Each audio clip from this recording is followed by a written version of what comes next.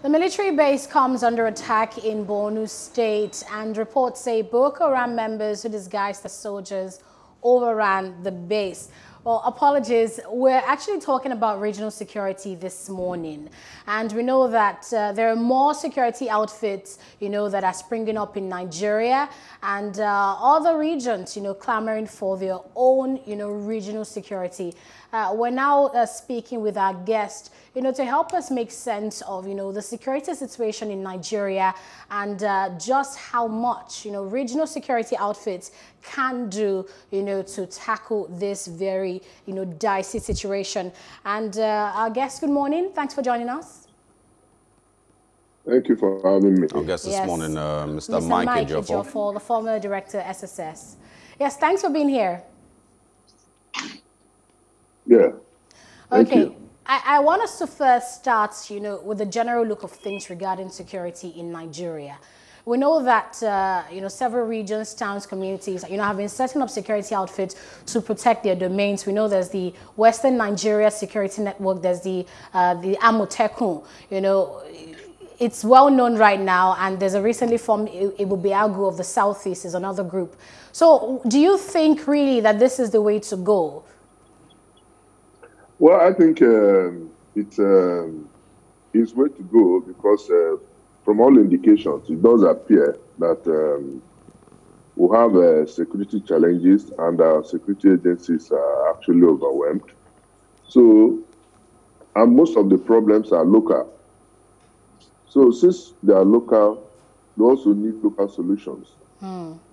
By that, I mean that uh, all these regional security outfits, it will be easier for them to collaborate and cooperate, you know, with a view to uh, tackling the problem because they are, in fact, closer to the people and they know the terrain. So I think it's going to help. All right, le- let's um, you know also try and understand what what roles exactly they would play. Uh, Amotekun, uh, the Ebube Agu now that we're talking about in the southeast, um, and of course it's very likely that more would spring up as time passes. What role exactly are they, you know, meant to play? Uh, You know, information gathering or you know fighting directly with uh, um, security threats across the country? Yeah, they will provide uh, information for the actionable agencies like the police and the SSS. Give them information on to, uh, which they will use in tackling the problem. They know the the, the criminals within the society, but uh, because of uh, fear of reprisal and uh, possible loss of confidence in the in the police uh, because of uh, what is ongoing. Don't forget to, I'm not indicting the police. Don't also forget that the police is uh, part of Nigeria, people by Nigerians. So we need to build this confidence among the people within the security forces so that they can have a way of reaching out to the police. So I believe majorly that um, the indigenous, the com- community members, call it community policing, call it uh, local policing in the interim, since we have not uh, been able to amend our constitution to possibly establish uh, the state police. Uh, as a stopgap, I think uh, they will play a major role in ensuring the security of the area. Okay, would you agree with those who are saying that the call and clamor for regional security, you know, shows that the federal security has failed? I wouldn't say it's failed, but I think uh, we're over, uh, they're, they're overwhelmed because of uh, the enormous uh, challenges we are facing, lack of uh, manpower, lack of uh, funding, underfunding, if you may like, and of the police. That confidence. You see, like um I was in the southeast during the Easter period, and uh, I can tell you that virtually all communities now have their own uh, vigilante groups taking care of uh, the responsibility of it. And you hardly can see any problem until recent uh, upsurge, uh, insurgency in attack, attack on uh, government facilities like the correctional facility, the Nigerian police, and the, most recently, the residence of the governor. And this calls for real worry I can tell you because uh, this is uh, just uh, too much for us to bear. You go to the southeast, you have uh, challenges of uh, secession, agitation. You go to the southwest, they are talking of agitation. You go to uh, the northeast, we are contending with insurgency.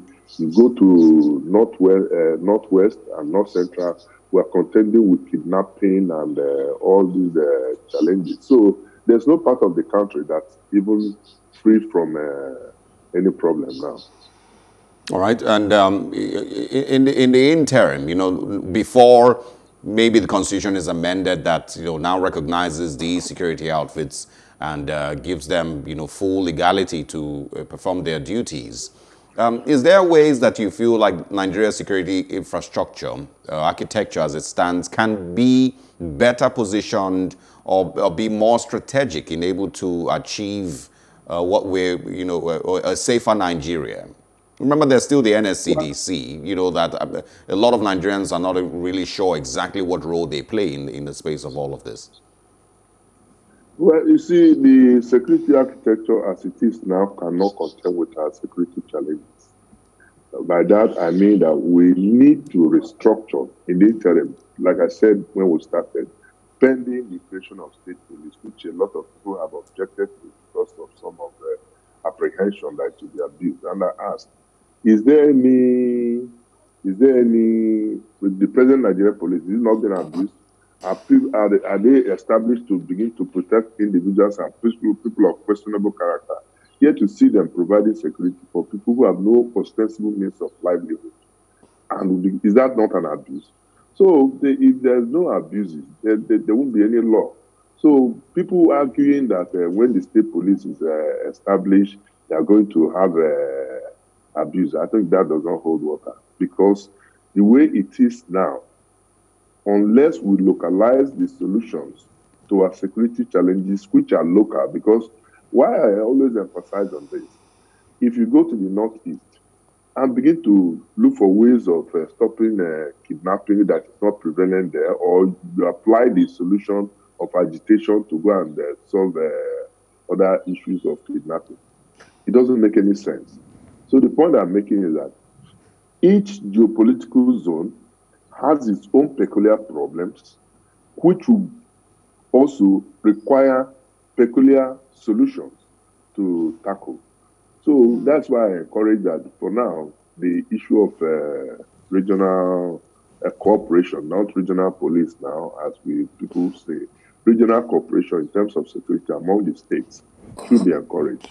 Now, you look at uh, Amotekun, since the establishment of Amotekun, uh, there's no society without a crime. And uh, you, you see that there's a reduction in terms of uh, uh, uh, commission of crime within the Southwest because it cannot be completely wiped out. There's a reduction because of the cooperation within the the states because there was a legal framework in which all these people were established and uh, they begin to operate freely, unlike what we have in the Southeast. The Southeast, you know, there was another Eastern Security Network set up by IPOB, which is illegal, even though they are they, they, they, are not they are not visible. They have not provided any security to the best of my knowledge. Followed by the establishment of uh, uh, Ebube Agu by the Southeast governors. And uh, I asked, before the establishment of this uh, Southeast uh, Security Network, what was the legal framework? Have the states met to say, yes, we are establishing this, this is how we're going to provide logistics. Where are the vehicles? Where are the logistics being provided? So this raises a lot of uh, questions. Ordinarily, the concept is very good and it should be encouraged. But for now, I think uh, uh, the legal framework, especially in the Southeast, should be put in place to ensure that uh, we'll have uh, these uh, issues resolved. So, Mr. Ejiofor, we do understand your point. You're saying these are local security challenges and they should be dealt, you know, with a local problem, local problem or a local approach, and that the federal security architecture is overwhelmed. But um, would you consider the you know perspectives of others like Nigeria's you know former ambassador to the UN, Professor Ibrahim Gambari, who thinks that regional security outfits would break up Nigeria and cause disintegration? He's also saying that you know security problems should be looked at from the prism of you know national interest rather than regional ones. Nobody, nobody is interested in the breakup of uh, the country. I, for one, I have no other country. I'm a Nigerian. I don't believe in secession. So if you establish a, a, regional security network, I don't think that will lead to breakup of the country. So I completely disagree with uh, that notion that uh, when you uh, form a, a, regional security network, it will lead to the breakup of the country. There's no way it can. But you see again that there is this challenge. Everybody is clamoring for restructuring. Let us practice true federalism, and that will reduce tension. You see, most of the problems being generated are political. More than 80%, let me not put it on the high side, at least more than 70% of our security challenges are politically generated. And we cannot continue this way. In the next uh, few years now, 2023 is by the corner politicians will start talking about uh, campaigns and all this, and it's going to exacerbate and uh, compound the problems on ground. So that is why it is very, very important that we also look at the issue of restructuring this country. Let us practice true federalism. And some people will tell you that who are opposed to uh, restructuring is that uh, some of the states are not viable, and that is that is not true. It is not true. There is no state in this country that cannot survive on its own, especially when they look inwards. But the problem is that, uh, as some people put it, they call it uh, this feeding bottle policy, that at the end of the month, everybody will rush to Abuja and uh, they rush to Abuja for allocation. At the end, uh, they come back and share this allocation without visible infrastructural development, nothing to show for it. and I will still wait for the end of the month again for them to come and uh, share again. So that is uh, mm. that's a major problem. For, I can tell you that even most states like uh, Zamfara now, mm-hmm. for instance, that is having some crisis, they have gold. They can explore this and pay tax to the, uh, to, to the center. But what we are practicing is, is, federalism, which we think we are practicing, which okay. is not true federalism, is that the federal government will now take the chunk of the money and distribute to the states. The, the reverse should have been the case that the states should generate their funds and pay tax to the okay. center. Mr. Ejiofor, apologies to Button. Um, I, I would like us to discuss extensively on, you know, the whole issue of restructuring regarding, you know, security in Nigeria and, you know, her own internal development. But the earlier question I asked was because, you know, you say that you're not for the breakup of Nigeria, secession, but we know the agitations of groups like, you know, IPOB, of, you know, MASSOB, you know, how they want a separate Nigerian state of Biafra. The concern of many mm-hmm. regarding politics is that when they grant or they allow, you know, these groups to have a separate security network is one, one step basically into, you know, breaking out. I mean, that's basically the, the concern here.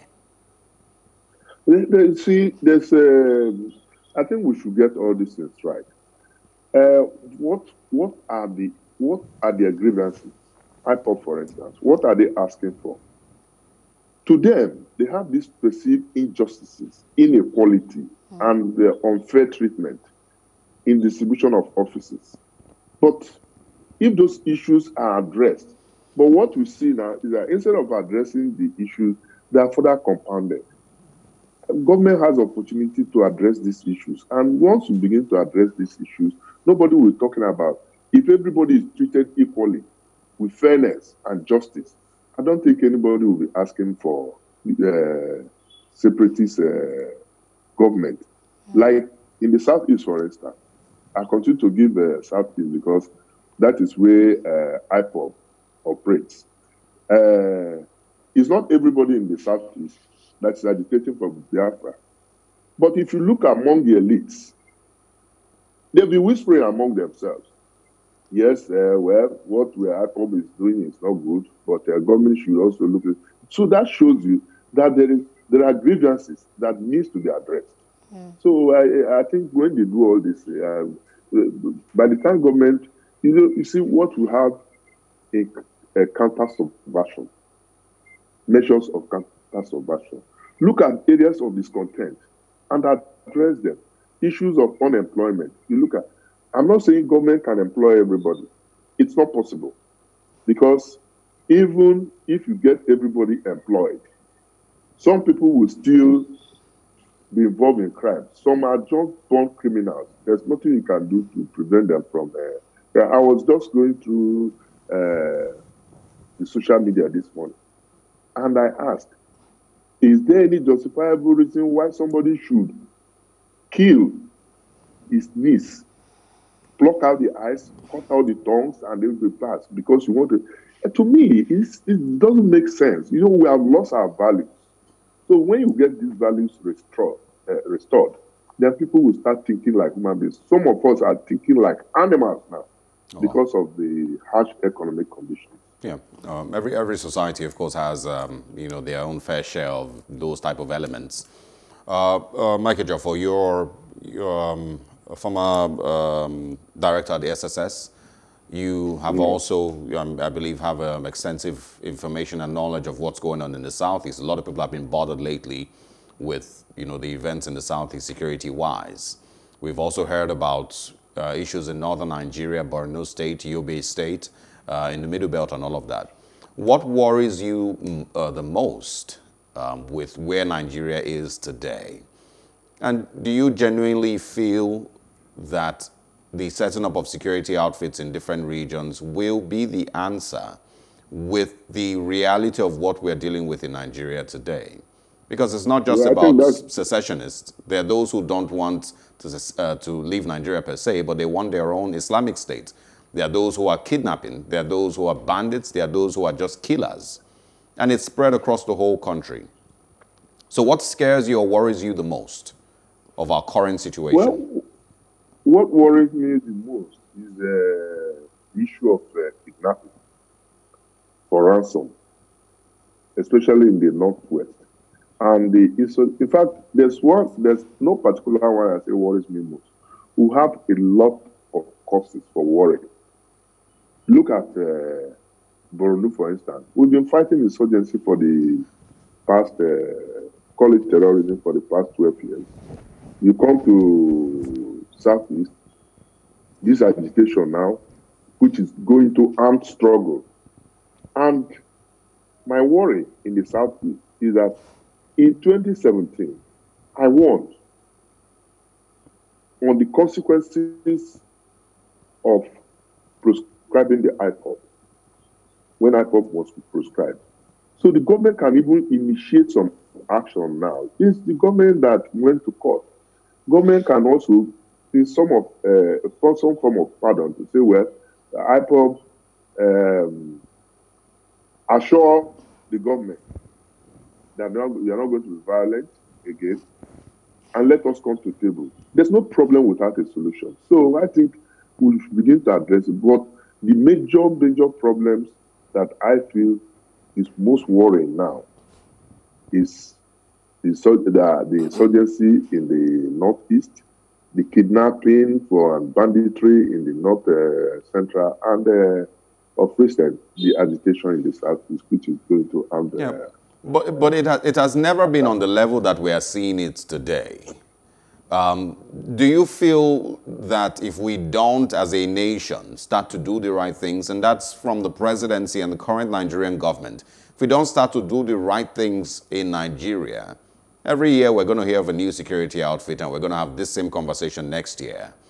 Because it's, it's, it's, I, don't, I, I don't know, but is our problem the lack of security outfits or the, the lack of an actual system that is functional and that is working for Nigeria? A combination of all of them.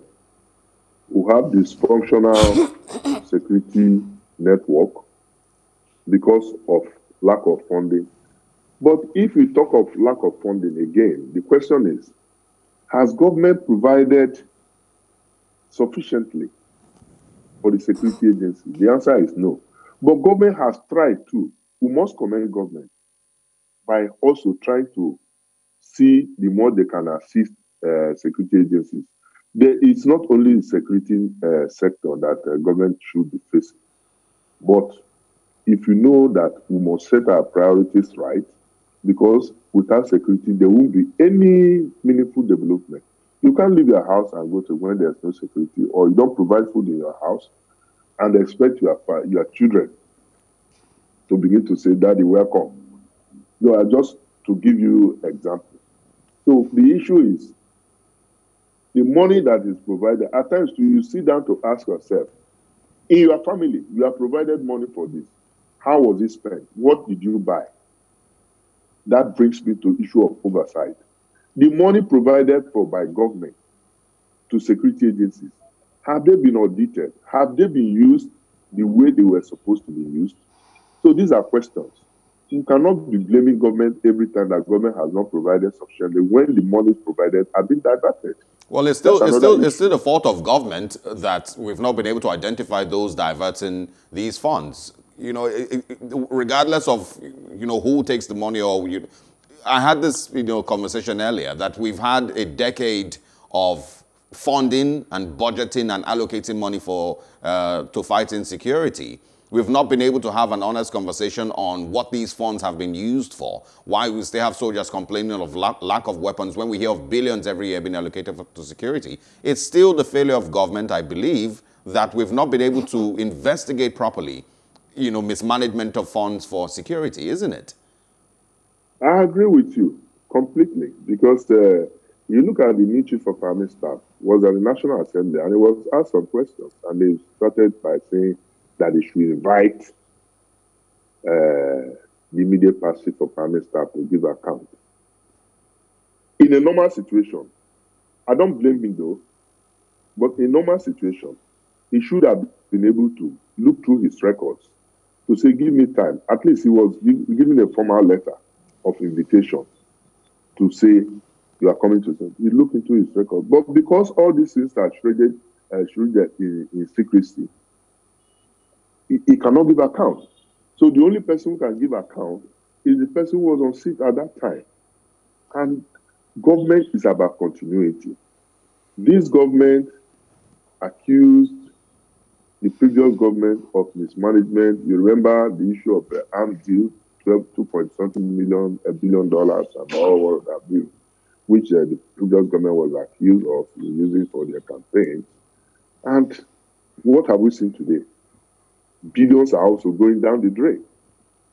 And we have a, a anti-corruption agencies. What are they doing about it? All right, Mr. What Mr. is the National Assembly? Uh, what is the National Assembly? Apologies to Button here, but just before we just before we go, I wanted to get your thoughts on this security outfits. Let's assume you know they they fly. Um, what should be, you know, the operations, the modus operandi be regarding the security agencies? Should they be allowed to carry arms? We had this discussion with Amotekun. Should they be allowed to carry arms, or would they just, you know, provide, you know, intelligence for, you know, the police? And we also saw situations where, you know, the Amotekun was alleged to have, you know, killed some people. So all these other considerations about, you know, how violence might even become on the rise when these people carry arms, you know, in the community. What do you, what do you say about that, please? Well, you see, virtually all the vigilante, the community police, the regional police, they're all armed. But the difference is that they don't use prohibited firearms. Some of them use these pump action, private uh, that are licensed. If they are allowed to carry that, well, to some extent, they should collaborate with the police to give proper training on handling of firearms, when to use firearms and when not to use firearms. Otherwise, you begin to see abuses. Mm. And I expect a cordial relationship between the police. They should work under the police, not but not under supervision of the police. They will tell police, look, this is the information. You pass on the information to them for action, where they fail to action. Because you see, Two wrongs cannot make a right. I agree. But the people who are fighting are carrying dangerous weapons, killing people, raping women, maiming people, eh, eh, dispossessing them of their means of livelihood.